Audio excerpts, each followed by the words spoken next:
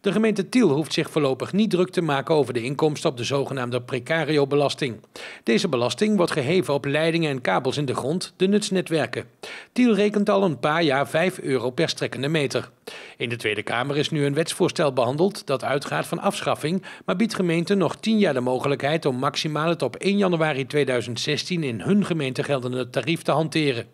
Verhogingen op dat bedrag is evenmin niet meer toegestaan. Het wetsvoorstel moet in Den Haag ook nog daadwerkelijk worden aangenomen.